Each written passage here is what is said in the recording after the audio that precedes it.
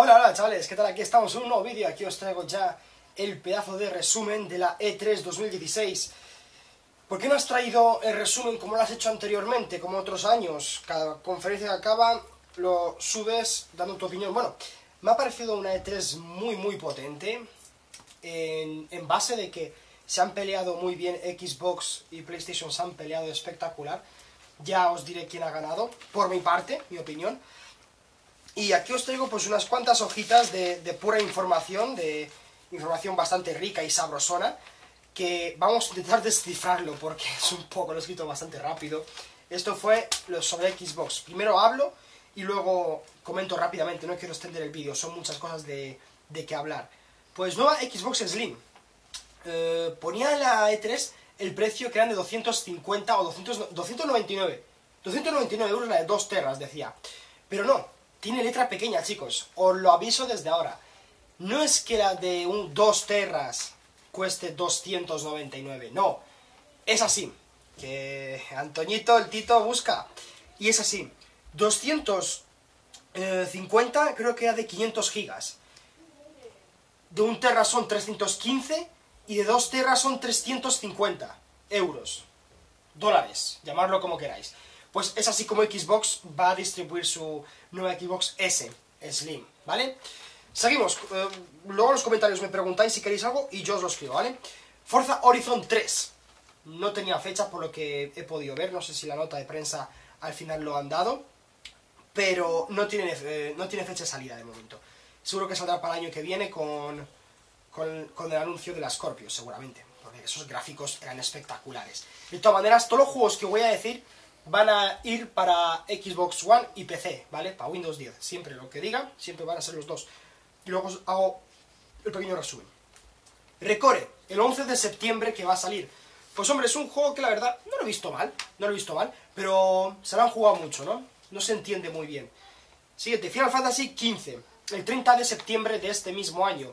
La verdad que es un juego muy esperado, por lo que he visto que es el juego... Es un juego más RPG, ¿no? Es como como no te deja como antes, no por turnos, no, vas a saco, eliges tú lo que quieres, ya, pum, pum, pum, para adelante. Espero que sea así. He jugado la demo, y la demo sí es muy chula, tal, pero a ver cómo se prepara Square Enix. Vamos a ver qué, qué están preparando, porque no han dicho nada de Kingdom Hearts, ni en Xbox, ni en, ni en PlayStation. Cuidado con eso, ¿eh? No sé si eso sigue en pie. The Division, el DLC, sale ahora el 28 de junio. Es un DLC que creo que es el Submetro, o no sé cómo se llama, tampoco me interesa pues me parece que The Division está muy muerto ya. The Division ha perdido más del 70% de gente activa, de jugadores activos. En fin, han enseñado Battlefield 1, otro pequeño tráiler rápidamente, y han dicho que eh, han puesto un clima dinámico, va a haber un clima muy al azar, mucho más dinamismo con las explosiones, destrucción total. Y bueno, esto es muy importante, chicos, para la gente de Xbox y PC, creo. Solamente han dicho Xbox, pero yo creo que PC también para que guardéis este vídeo que lo sepáis. Battlefield 1 saldrá primero en Xbox el 13 de octubre en EA Access. Y luego para las demás plataformas el 21 de octubre de 2016. Seguimos. Xbox Live. Esto que me hacía falta en, Play, por ejemplo. Pero a lo mejor mucho bla bla bla y la gente pues habrá cansado. Vamos a ver qué dicen por aquí. Me ha hecho un traguito de... Granja de la Sierra. Venga, Xbox Live han hablado de una mejora de servidores, como por aquí, un servidor más estables. Eh, luego han puesto un Cross Network Play, es decir, que va a haber algunos juegos que se van a poder jugar con PC, como eh, Minecraft, que lo habían comentado, Rocket League, y algún juego más que pondrán... ¡Ah, sí! Forza Horizon 3 también. O sea, muchos juegos van a ser crossplay, ¿no? Está bien, me parece bien. Eh, han puesto indies, bastantes juegos indies. va a haber Cortana, va a haber una cosa que se llama clubs, que son clanes de competición. Es como, es como la LVP y tal, pero oficial de Xbox, ¿vale? Va a haber un modo arena, que va a haber torneos cada X tiempo de FIFA, de Call of Duty, de, de, un montón de juegos. De momento solamente han dicho que FIFA es coming soon, que próximamente vendrá FIFA también, ¿vale? Y bueno, y FIFA eh, será exclusivo de, de Xbox también, ¿vale? Pasamos a la siguiente hoja rápidamente, porque tenemos más información sobre la realidad virtual de Xbox, que dice Minecraft se podrá jugar en todas las plataformas a la vez y VR en Minecraft móvil. Es decir, que si tienes un S7, pues puedas jugar Minecraft con realidad virtual. Mola bastante, mola bastante. Y luego lo más importante y lo más interesante que yo he visto, que los mandos personalizados ya se van a lanzar en próximos meses y tendrán una combinación de 8 millones de colores, de combos, de botones, vale, más de 8 millones de combinaciones para crear tu propio mando con tu nombre, con colores, en fin, me parece muy cursi, pero, chicos, como esto. ¿Para qué pagar una empresa externa si puedes hacerlo oficial de Xbox, no? Y luego si quieres lo puedes vender a, a alguien que no haya podido tener eso, pero sin tu nombre, claro. En fin, seguimos. Eh, bueno, lo de Inside, eh, pues es lo de los indies. Eh, bueno, We Have Fee sale el 26 de julio. No me ha gustado mucho, no me ha gustado mucho. Pero habrá que ver un gameplay en acción real. Ha sido tráiler, casi cinemática. No me ha gustado mucho. Tekken 7 saldrá en 2017. No se sabe. No se sabe qué, qué fecha pero me ha gustado mucho. Se ve que el 1080 lo tiene bastante bien implementado, tiene los 60 FPS corriendo a tope, la verdad que Tekken me gusta mucho. Dead Racing 4, eh, la verdad que me ha gustado y pone que saldrá en 2016, próximamente. Entonces yo supongo que como el juego corre Navidades, lo lanzarán en noviembre. Noviembre, diciembre diría yo. Pero ¿qué pasa con Dead Racing, 3, con Dead Racing 4? No me ha gustado mucho, sigue con la misma mecánica, no han innovado nada, sigue muchos zombies, eh, armas, las que tú quieras, pero no, no, me ha gustado, sigue siendo lo mismo, o sea, es, cansado. Te lo pasas y ya es el juego que te lo dejas ahí, o sea, no, no tiene un modo cooperativo, no tiene un modo online, entre comillas. Ya he visto además un gameplay, no me ha gustado nada, no me ha gustado, no me ha gustado. The Racing 3 igual, se, se, han atascado ahí. Racing, a partir de Racing 2 ya todo era repetitivo porque luego vino un DLC bastante grande de Racing 2, que lo tengo en Xbox, y bueno, no me ha gustado mucho. Vale, eh, lo de Scully Boom, Scully Boom 2017, es un gran juego, es el gran exclusivo de Xbox, bueno, y PC, ya no es exclusivo, tan exclusivo, pero no hay mucho que hablar sobre él, porque no han enseñado nada, cinemática. Cinemática y un poco de tráiler, pero Esperemos que para la E3 ya del 2017 enseñen algún demo o algo que se pueda jugar, ¿no? Bueno, siguiente. State Kai 2 no tiene fecha. No tiene fecha, no han enseñado casi nada. Ha sido un poquito para que la moral suba, porque la verdad que Microsoft lo estaba haciendo bastante aburrido. Mucha charla, poco gameplay. Me parecía que, no sé, estaban como muy desconcentrados. Y ya vamos con lo penúltimo, Halo Wars 2 para 2017, para 21 de febrero creo. 21 de febrero. 21 de febrero, Halo Wars 2. Halo Wars 1 lo jugué, me gustó mucho, pero se volvía muy repetitivo y como que el color le fallaba bastante, no me gustaba nada. Y bueno, el Halo Wars 2 pues tiene todas esas mejoras, y la verdad que me gustó bastante. Está bastante bien. No soy una persona de jugar de rol, desde arriba, desde esas cosas, pero está bastante bien. Y para acabar con Xbox, eh, han presentado Xbox Scorpio. ¿Qué quiere decir esto, chicos? Pues que, bueno, tiene 6 teraflops, que os lo voy a hacer rápidamente para que os hagáis una idea rápidamente. 6 teraflops es mucha, mucha, mucha chicha. Si la Play 4 a día de hoy tiene 2,15 teraflops y va bastante bien, 6 teraflops, chicos, os voy a hacer un pequeño equivalente equivale a una GTX 1070. Una GTX 1070 a día de hoy está costando unos 600, 700 euros, si no me equivoco, 800 casi. Si la Xbox mete 6 teraflops en su consola, valdrá más de 899 euros. Porque ya no es la gráfica.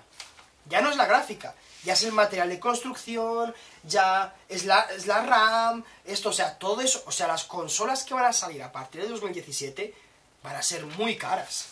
Van a ser muy caras. Vamos a recordarlo, chicos, y ya os digo que el precio de la Xbox Scorpio estará eh, alrededor de unos 700-899.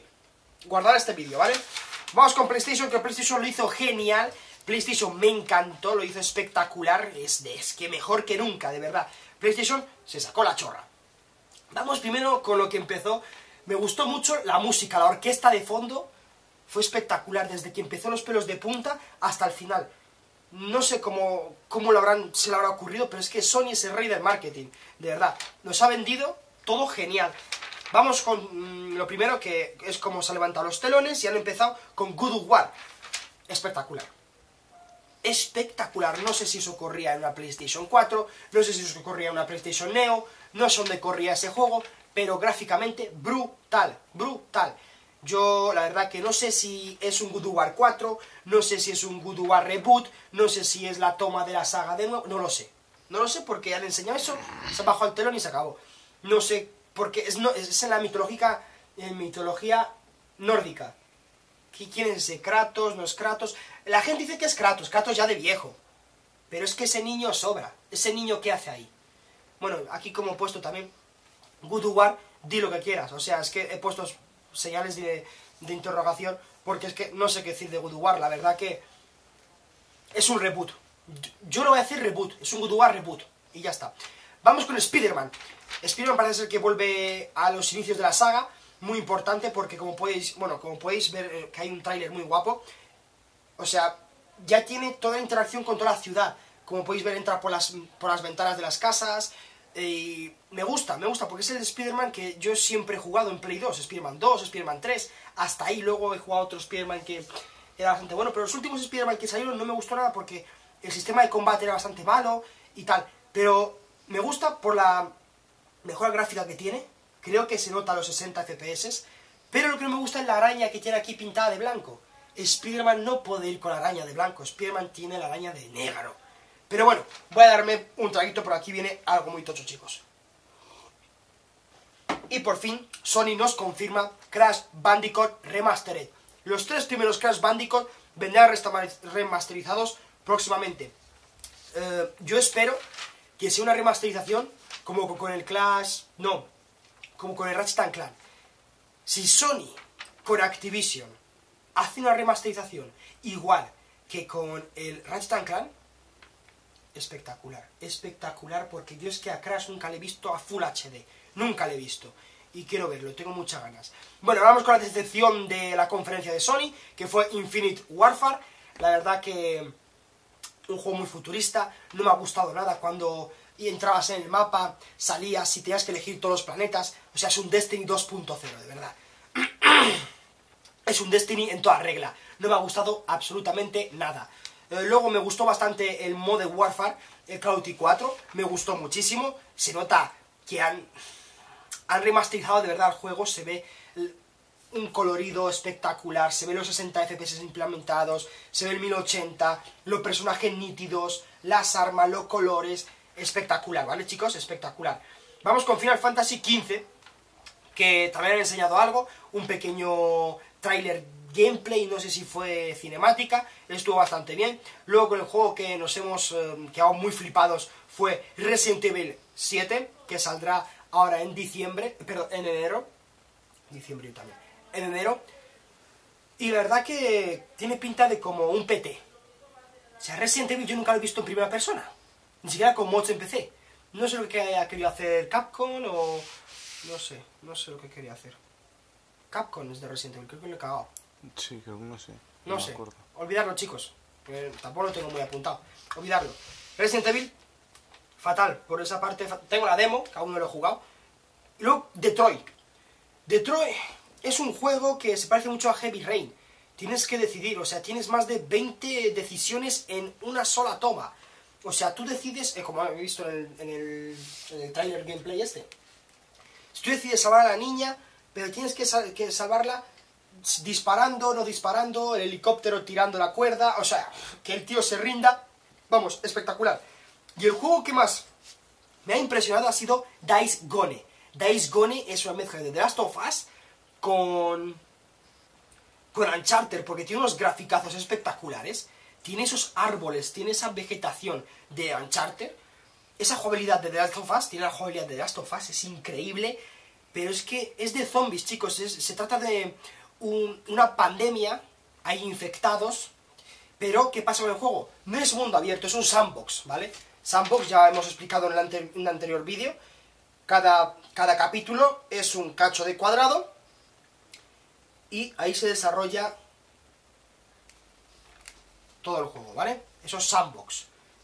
Eh, mundo libre, pues es que tú vas para adelante y nunca se acaba, ¿vale? Sandbox es GTA, por ejemplo, GTA Sandbox, se acaba, es un cuadrado, es un mapa cuadrado, que es cuadrado, ¿dónde está el mapa del GTA? Está ahí el mapa del GTA. Es un sandbox, ¿no? se puede ver, que aquí ya, pues se acaba, pues está igual, ¿vale?